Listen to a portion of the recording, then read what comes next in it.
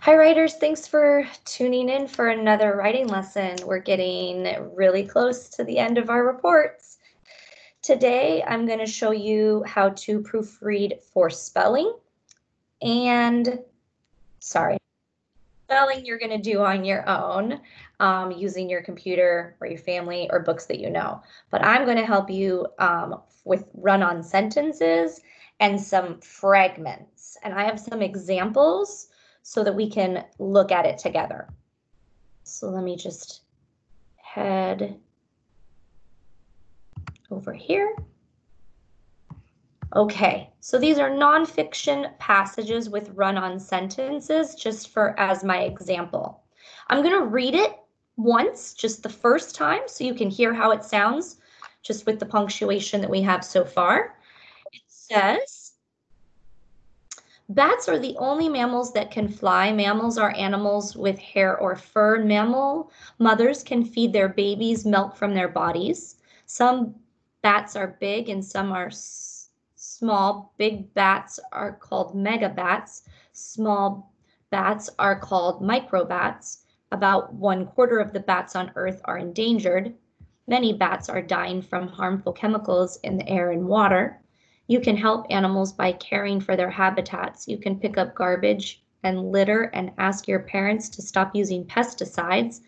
Watch animals in your area to see how they live. Learn as much as you can about endangered animals and tell other people about them in a nature club or raise money to help endangered animals.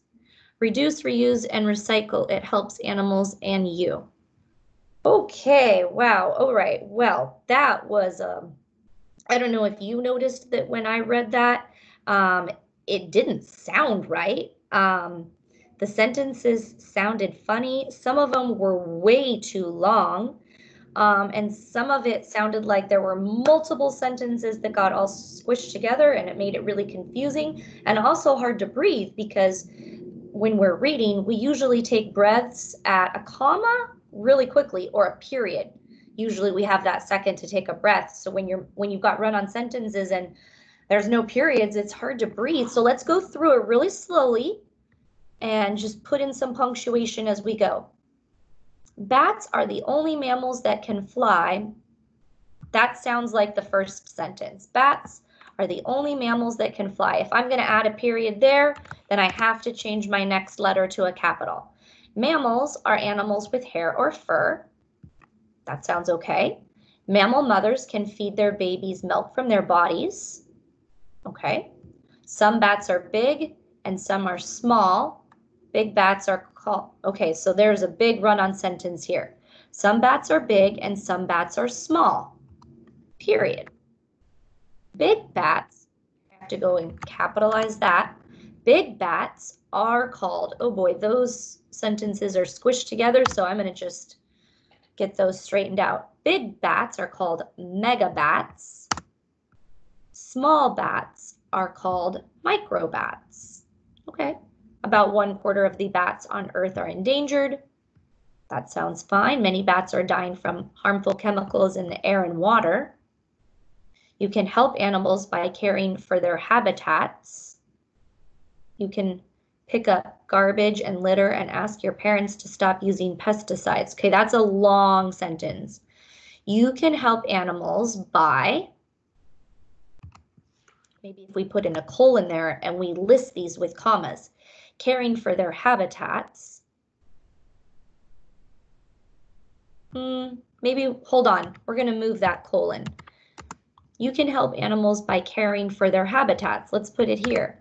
You can pick up garbage comma. Let's take out that and. Garbage, litter, and ask your parents to stop using pesticides. Watch animals in your area to see how they live. Learn as much as you can about endangered animals and tell other people about them. I think we have to put a period there. So then we need a for the J and join. Join a nature club and raise money to help endangered animals. Reduce, reuse, and recycle. Maybe if we stick in the word because it helps animals and you. Okay, that sounds much better now that we took care of all of those run-on sentences. Let's just reread it quickly to make sure that we've got them all. Bats are the only mammals that can fly. Mammals are animals with hair or fur. Mammal mothers can feed their babies milk from their bodies. Some bats are big and some are small. Big bats are called megabats. Small bats are called microbats. About one quarter of the bats on Earth are endangered. Many bats are dying from harmful chemicals in the air and water. You can help animals by caring for their habitats. You can pick up garbage, litter, and ask your parents to stop using pesticides. Watch animals in your area to see how they live. Learn as much as you can about endangered animals. Tell other people about them today. Join a nature club and raise money to help endangered animals. Reduce, reuse, and recycle because it helps animals and you. Yeah, that does sound good. Okay, so let's jump over my next slide. I've got some fragments. Fragments are when you've got like two small little pieces and if you actually put them together, it will make your sentences sound much better. Let's, um, let me go, let me read through this um, with you the first time without changing anything. Let's just listen for how it sounds. Coyotes live in North America and Central America. They look similar to wolves but are smaller.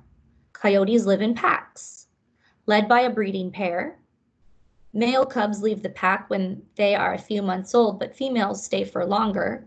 However, coyotes mainly eat small prey, such as mice and lizards, so they do, do not need to go hunting in a pack. They usually hunt in pairs or alone. D-holes are small reddish-brown wild dogs. They live in Asia. They live in large packs of 10 or more animals. Sometimes several packs join together to make an even bigger group. D-holes, like wolves, work together to track and catch prey. They can kill animals that are much bigger than themselves such as cows. Okay, well, so let's go over here and see if we can get some of these fragments to be actual sentences. This first one jumps out. It's so weird. Coyotes live in North America and Central America. Those are two separate sentences. But if we put them together, it would take care of that fragment and it would sound better. Coyotes live in North America and Central America. Okay. That sounds like a good and complete sentence. Now the next sentence is complete and it's a complete thought. It has a subject, they, and the predicate looks similar to wolves but are smaller. The sentence after that is complete. Coyotes live in packs. However, I think that led by a breeding pair is a fragment. And since this fragment tells more about packs, then I'll delete the period and make the L in led lowercase.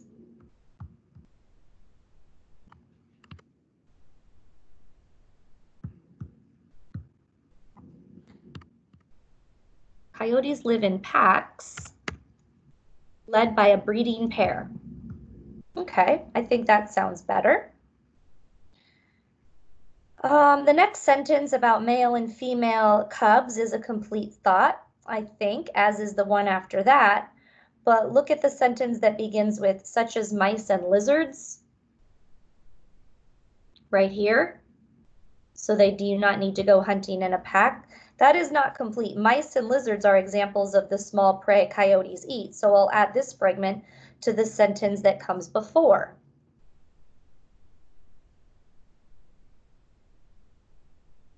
So we're going to take out that period, put in a lowercase letter.